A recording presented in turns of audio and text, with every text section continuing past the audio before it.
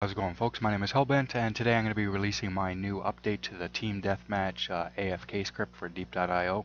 Um, I'll show you basically how it works and how to set it up and how to get a copy. So the first thing is uh, in order to run this uh, you're going to need to have AutoHotkey. To find AutoHotkey, just do a Google search of it and go to their site and pick up the software. It's just basically the programming language that this is written in. So in order to create new scripts, you need the language uh, to be able to do that. Um, once you have that, there'll be a link in the description to a Pastebin post where if you go to that and then go all the way down to the very bottom in the raw paste data, you will see this place called raw paste data. Just click in it, press Control A, Control C to put it in your clipboard, and then you can create put this into a new script uh, such as this. Just paste it in and then save it and run it. Uh, when you run it, you'll end up with this. And what this does is, uh, I have an actual image here to basically demonstrate kind of what it does. So all you're going to be doing is you're going to be setting these eight points around your character.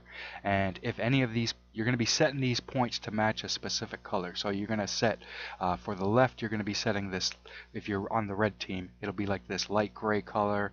If you're on the, at the top will be this darker gray, the right will be this darker gray, and the bottom will be this darker gray. And I'll, I'll show you how to set it up, everything in a minute. But uh, basically what's going to happen is these these points are going to be following you wherever you move.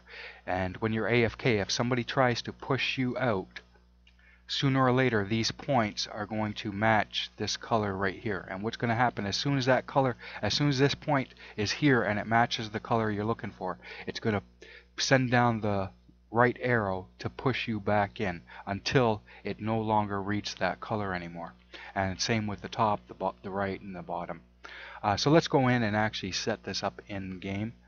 So here I am in game, so I'm going to pull up the script. There's five points of information that I need to add. First is I need to add the game, so that way the, this script only works if this window is active. So I'm going to hit set window and then double click on the game.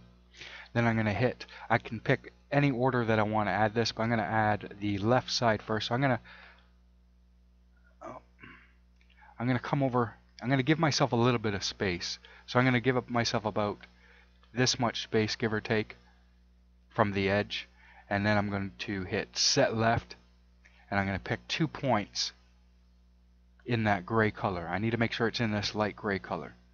Then I'm going to come over to the right side give myself a little bit of space between the edge and I'm going to hit set right and I'm going to pick two points in this darker gray color.